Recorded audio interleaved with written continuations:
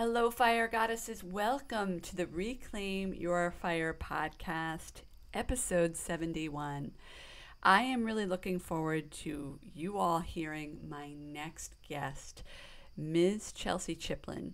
Now, Chelsie has an unbelievable story where she says that she did not love herself, and as a result, she was in an abusive relationship and basically, she tells the story of how she transformed her life through self love, manifesting her dream life. And as you will quickly discover, Chelsie has this radiant energy. You're going to hear it in her voice. And she's on this path to really helping other people find their inner joy, find their happiness, so that they can also live their dream lives. I can't wait for you all to hear this next episode. It is a great one. So, without further ado, please welcome Chelsie Chiplin. Hello, fire goddesses. Welcome to the Reclaim Your Fire podcast.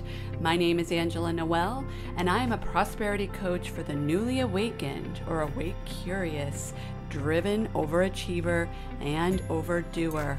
After running a successful acupuncture practice in Boston for 12 years, I decided to hang my hat by closing the practice and pursue what it is that I'm really meant to do in this world, and that is to serve humanity online on a global scale. Using my background in Chinese medicine, along with the brain science of habits, spirituality, and divine masculine and feminine energy balance. I am here to help you not just understand, but know how powerful you are and that you are the person who is responsible for having the finances, inner peace, radiant health, and energy, aka the fire, in your life that you've always desired. My intention with this podcast is to serve humanity, no matter what gender you identify as, to help bring out the divine feminine goddess in each and every one of you. As you probably are already aware, the world is changing and is begging for the goddess to come out in each and every one of you. So, fire goddesses, stay tuned.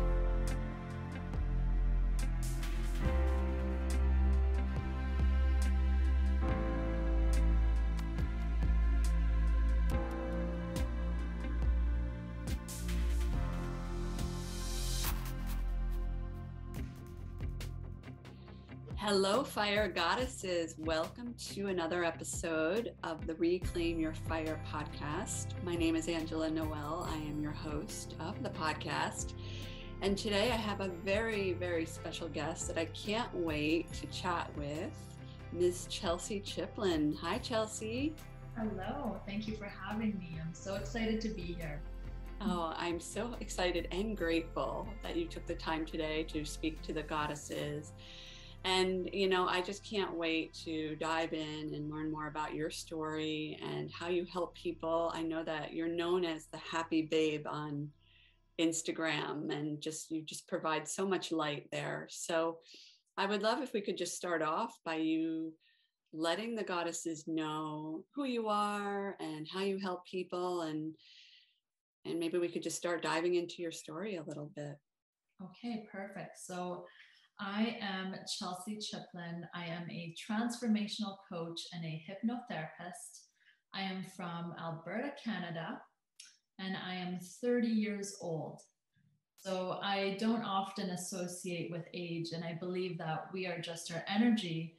But I've always felt like an old soul and really drawn to the realm of spiritual spirituality, awakening, and just being connected to my higher self. So that's kind of a little bit about me. And yeah, yeah, we can definitely dive deeper into that. yeah, yeah, I love, and you know, I would, um, I, I love how you said that you're, you know, you gave your age. Yeah. But you're like, but basically, age means nothing, right? Like I'm totally on that in that philosophy too. Like I feel like, you know, I have a big decade birthday coming up this year and I'm like, what does that even mean? Right? Like i have friends from of all different ages right? And i just feel like it's just a number. So i love how you you mentioned that and you are an old soul. I can totally see that. Yeah i feel that all the time. Like even when i was 16 years old getting into this you know law of attraction and i never felt my age i always felt older than what i was so mm-hmm. helped me on my journey yeah, absolutely. And I would love to know more about like specifically how that, you know, ha- having that old soul wisdom helped you on your journey. And if you could just share with the goddesses listening a little bit about what brought you here and and what caused you to do what you're doing now. Yeah, so the story really my transformation really started about five years ago when I left a very, very abusive relationship. Um, it was reflecting the way I felt internally. And that was the reason why I attracted this individual into my life was because I never truly loved who I was. So when I was 18 years old, I came across this my my ex-partner and I met him and I could remember the night I met him and I felt sick in my stomach. And I remember being told in my body, like it's like my intuition told me, do not go with this guy. This guy is not good for you. I didn't listen because I ended up being with the guy for eight and a half years, you know, and the greatest lessons of my life came from it. That is um, wow. There's so many different places we could go there, Chelsie, and yeah. I, I really believe that. Um, I mean, I'm getting chills because um, I know that this story is going to really resonate with so many people, and also I can relate to what exactly you said when you met your your partner because or your your previous partner because our bodies tell us things, don't they? And um, unfortunately, you know, in culture, we're not necessarily taught that, and well, some of us are. So, um, but I also like what you said about how that partner brought you so many lessons and he brought did. you to where you are today. He did. And one thing that I could recall about, you know, the five years ago I was reading this book, and this was when I really became into developing myself.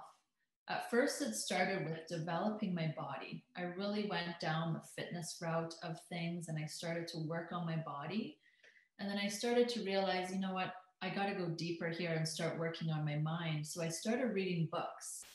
And I remember this one book I read, and in the book it said, You cannot save everybody, you cannot save anyone. And actually, you can only save yourself. So that was a huge moment for me because that's when I'm like, this is it. I am ready to change my life. And it was the beginning of a spiritual awakening and a spiritual journey and diving into discovering who I really am. And was it so you said that was how long ago when you read that passage? was about five years ago. After your relationship ended.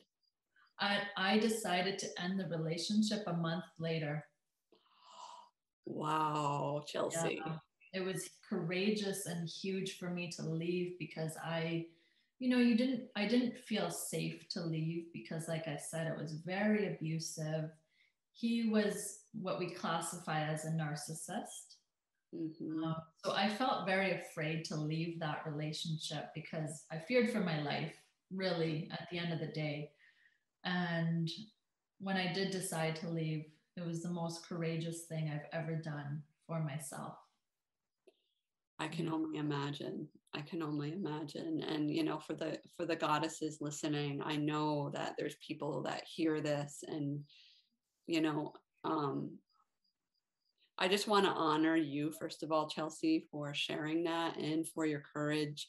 And for those listening out there who may be in similar situations that feel that they truly cannot leave um, know that there are plenty of people out there who love you and are available to hold space for you. So, um, you know, just uh, I, I have so much reverence.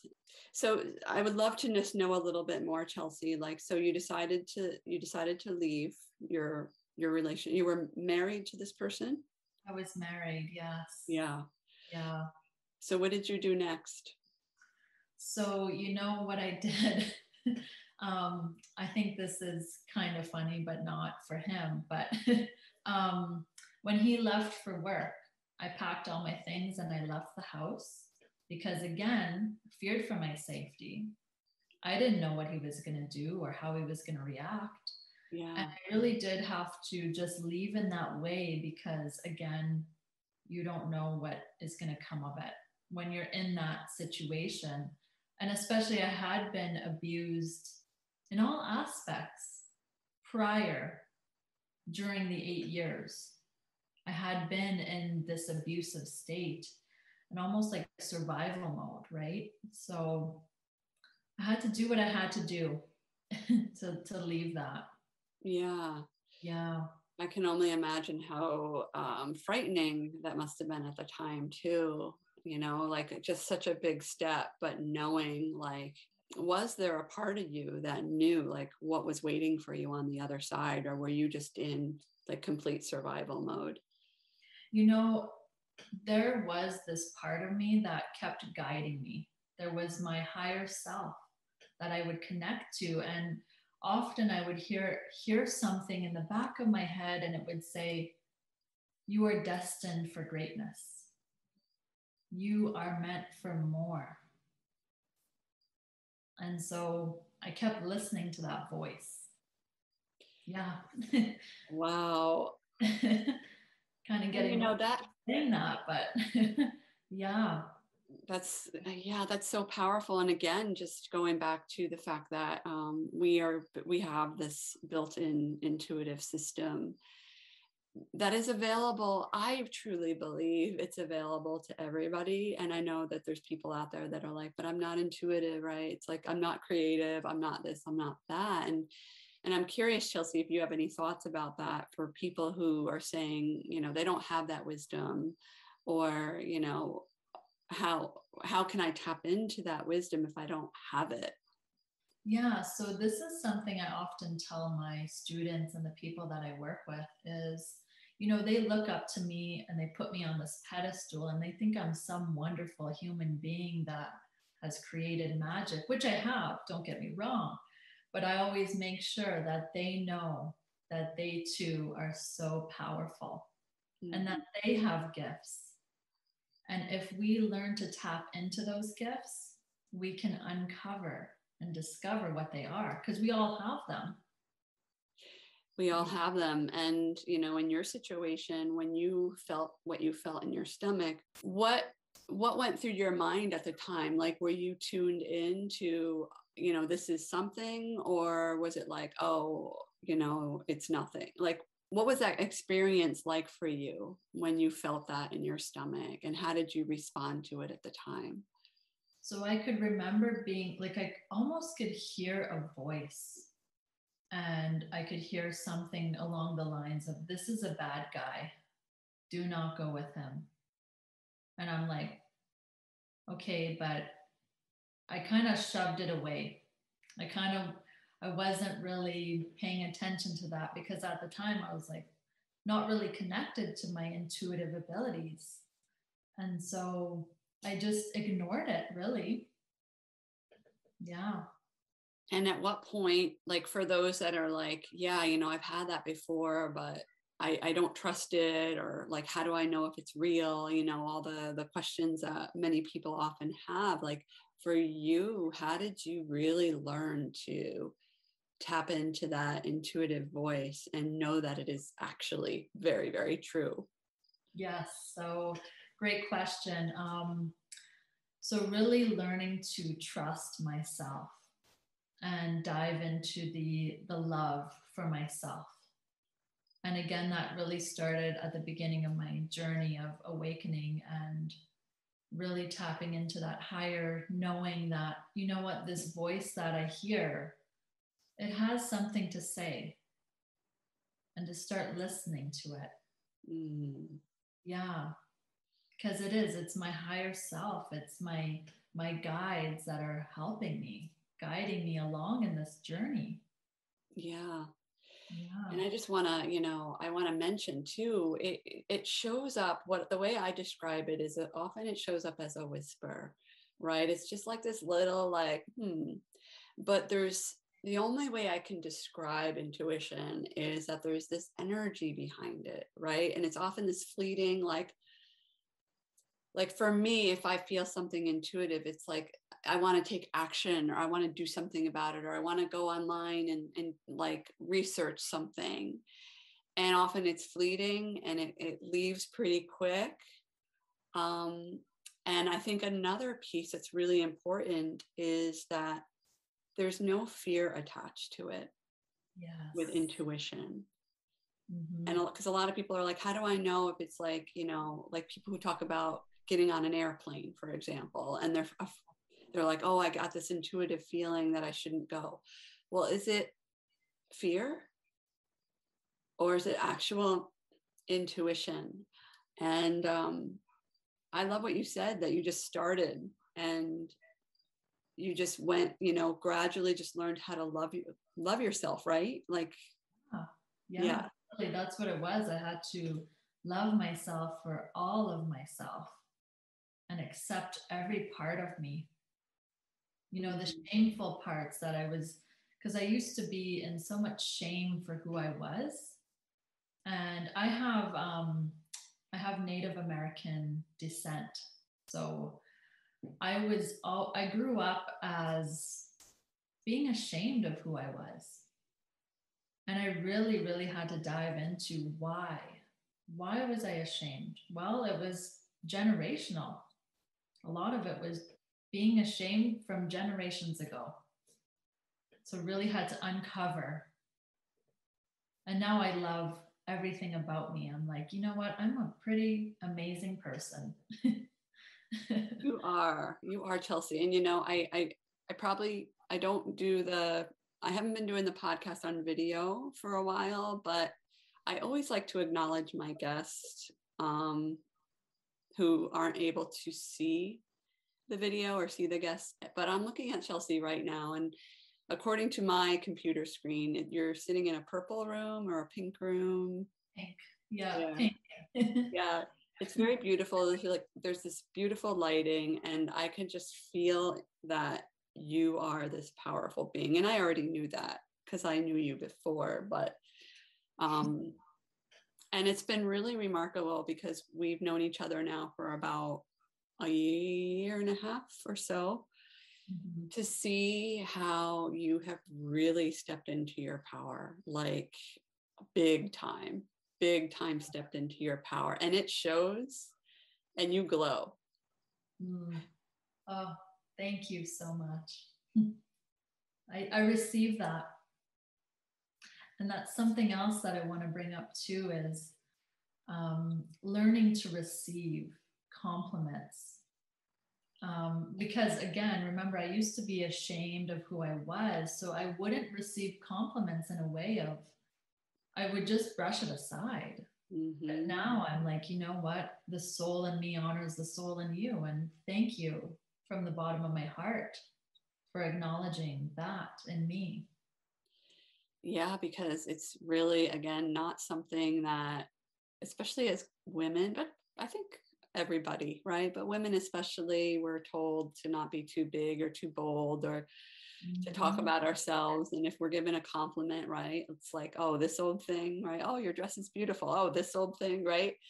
Yes. And, but what most people don't realize is that being able to receive, even if it's a compliment, is part of this energy system of giving and taking, right? So if you don't have what you want in life, whether it's, you know, the house or the the partner or the money, that might be a good place to start. Is how are you able to receive?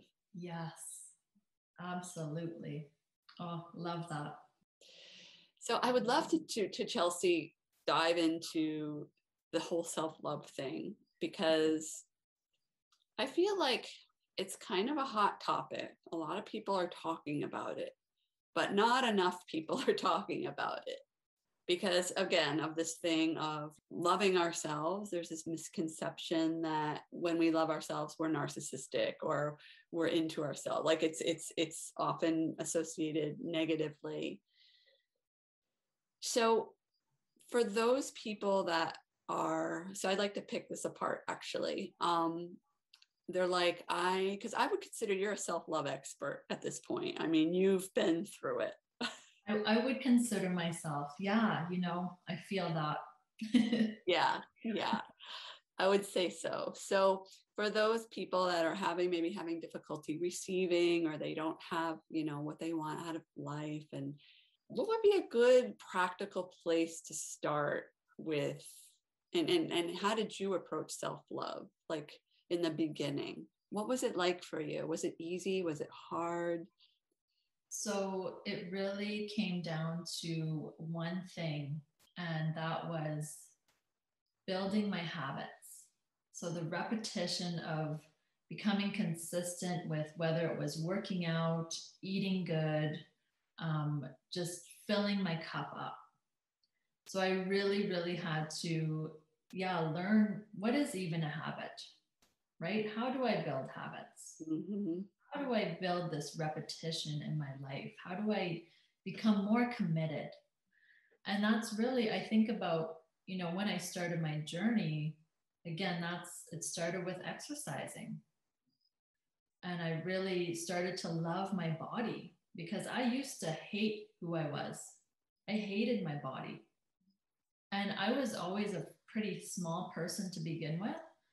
And when I would look in the mirror, I would see, I would often say in my head, I would say, Oh, what a fat whale you are. Like I would say the meanest things to myself. Mm-hmm. And it was like, wow, I really had to change and change and transform that self talk. And yeah, and then another thing that I would highly, highly recommend people to do is invest in themselves so invest in a coach, invest in somebody that believes in you and is going to hold you accountable. Mm-hmm. Yeah. And, it, you know, that brings me back too about when in, investing in yourself, a lot of people don't think that they deserve that, right? Yes. And it just, it's this whole cycle. And you mentioned generational right? It comes it's it's not us really. Yeah. what we learn and how we are and how we treat and talk to ourselves we learn that by the age of seven. Right.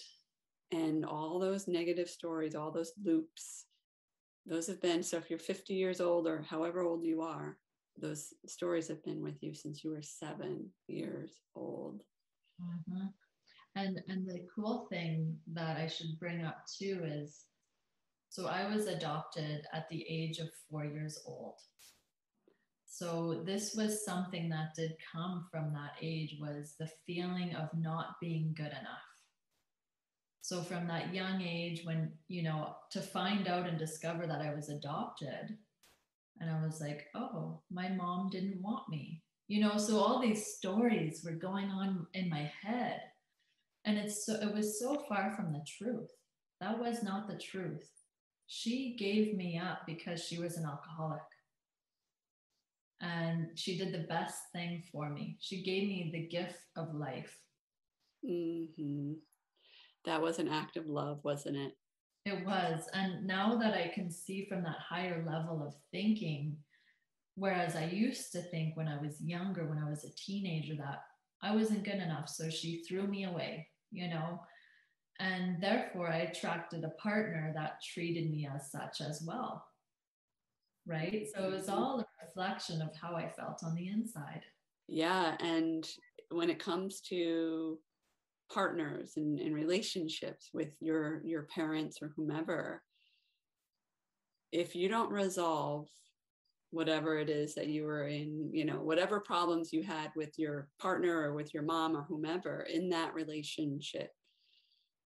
You know, those people, right? And, and I'm speaking to the audience at this point, but, you know, we all have those friends that go out with somebody and then they break up and then they find somebody else and then they have the same problem like the same thing keeps coming up and oftentimes it's the normal reaction is well what is you know why do i keep attracting these these guys that have similar issues?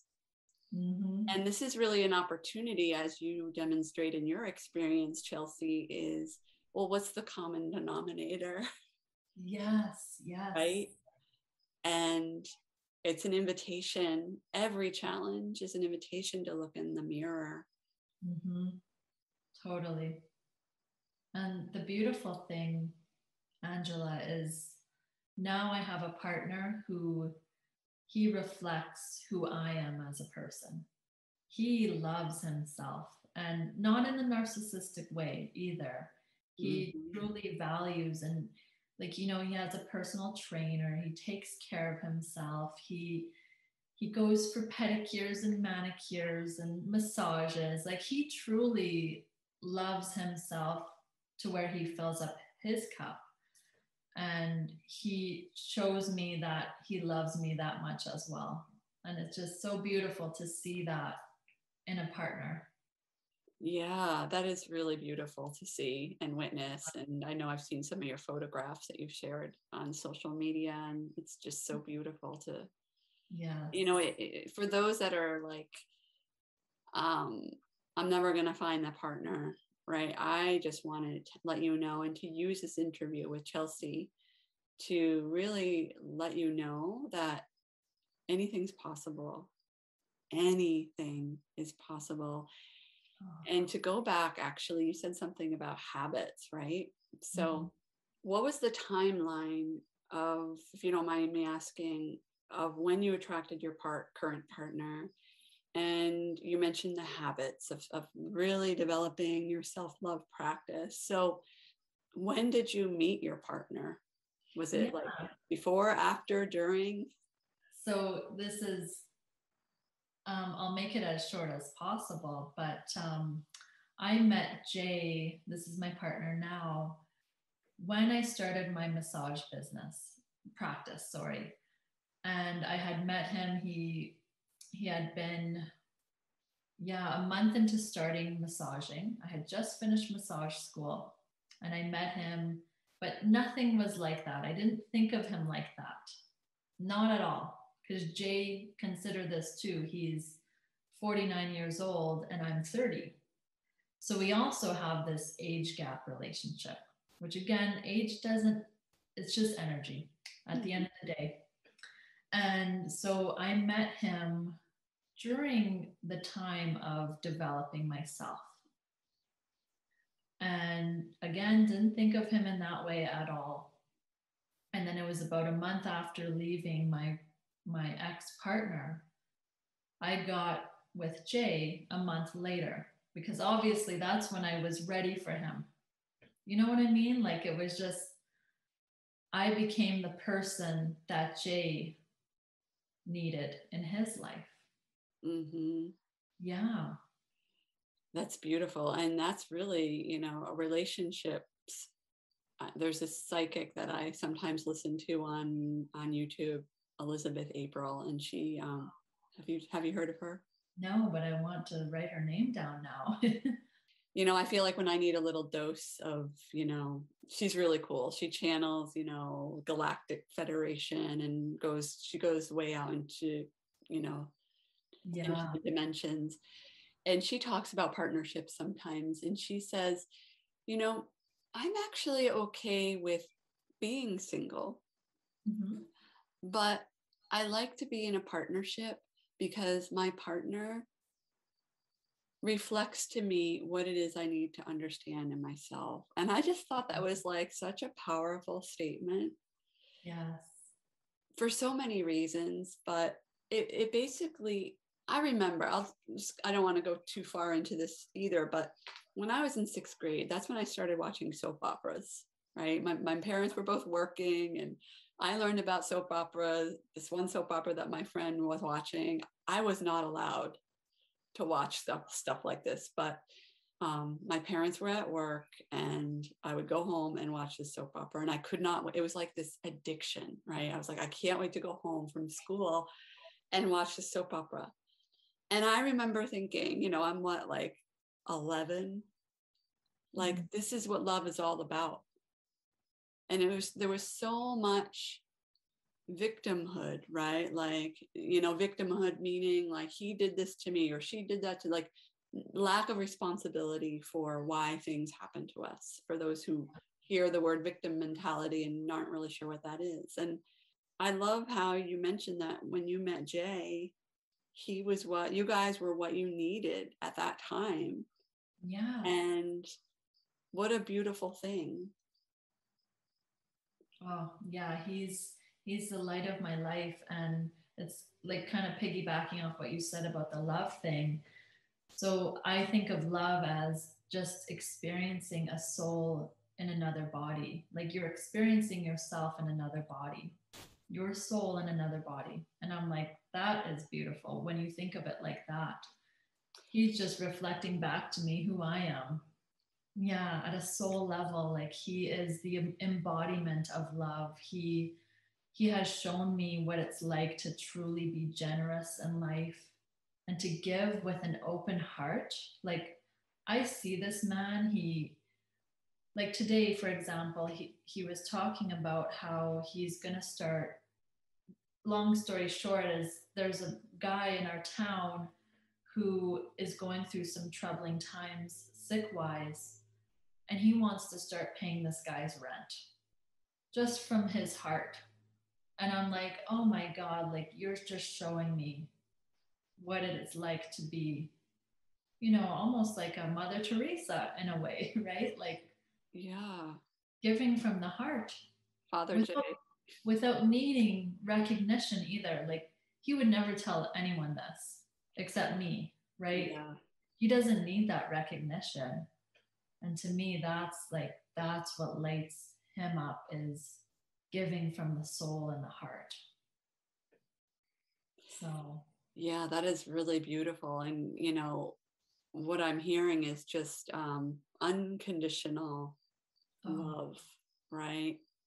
Un, and that really is what love is all about, right? When this the shaman that you're fam- also familiar with, Don Javier, um, he talks about um, when love becomes conditional it's not really love it, it's love that is love from the ego right oh. and um true love like when we think of true love it's not a disney fairy tale but it's actually unconditional love it's loving not only the other person but loving yourself and then loving that person for who they truly are Yes. And that's uh, that is such a beautiful story, Chelsie. Thanks for sharing that.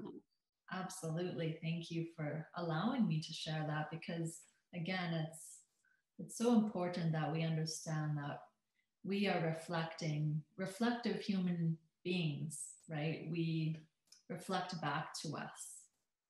Mm-hmm. What we're feeling inside. and that's so important. It's so important. Yeah thank you so much for yeah. for sharing sharing what you shared and um, you know I, I just really when we share our stories i've become a big fan of opening up and starting to share more personally and then just on the podcast. I, I really feel that this podcast is trending in more of a, a direction of of love. Yeah. Showing up in a loving way and serving from love. Because when we when we serve from that place then it allows other people to open up and be who they are and to feel safe in who they are. So thank you. Yeah thank you. Um, just kind of coming back to when we love ourselves we can truly be our authentic selves and show the world who we really are. And the world needs us, right? The world truly needs love right now. Yeah, the world mm-hmm. really does. I mean, that's all this stuff that's going on, right? And it's been going on forever since humanity's been in existence. But I do feel hopeful that we really are shifting, you know, because of the ripple effect. And when we change on an individual level, when we tap into self love and that unconditional love that we spoke of and create that ripple, that is really when the world changes. The world's not going to change from our ego, it's going to change at the soul level. So uh, I love this conversation, Chelsie. And I'm just curious to know when somebody works with you, what typically are they? What would be like a typical situation? Like, what, what are they? What are they dealing with primarily? Like, how so, is that manifesting? Yeah, so I typically attract people who, again, have that lower self esteem. Um, they don't put themselves on a higher standard. They don't believe in themselves. So I find that, again, like I'm attracting people who are old versions of me, in a sense, in a way. And like I said, I've tapped into my confidence. Confidence really is just a way of being and that's what i help others to understand is who can they be? Who who do they want to start being? And how to start shifting into that higher level that higher self version of who they truly are. And so yeah i i find that that's exactly the people i attract old versions of me. Yeah so true isn't it? Yeah. Mm-hmm. and i just feel like you know your your work is so needed. I mean the work that um I, I just feel you know there's no mistake that we're alive during the time that we are alive. You know i really do believe in that. There's no mistakes ever. The universe doesn't make mistakes. And um you know we're here at a very pivotal moment. And i just can't be even any more grateful to be able to share and show up this way and to know you, Chelsie, and honor you. So thank you so much. Thank you for, for being on the podcast. Thank you for doing what you do. You are a light in this world. It's so beautiful. Thank you, Chelsie. I received that. Thank you so much. Mm-hmm. So I'm going to put, um, I'll put all of your information in the show notes, but for those that are listening that want to just quickly jot it down, how can people find you to work with you or to find out more about you? So the best thing right now is I am on Instagram at at the happy babe underscore. And that is where I share all things happiness, self-love, and just helping people to raise their vibration. And the best way to work with me is to, I, I do have a link in my Instagram bio where we can connect. And I'll send that to you as well. And I will connect you, your people with that as well. So sweet. Yeah. Thank you so much, Chelsie. It was a pleasure to have you on today. I love diving into all things love, and it was an honor. So, thank you so much for this conversation. Thank you.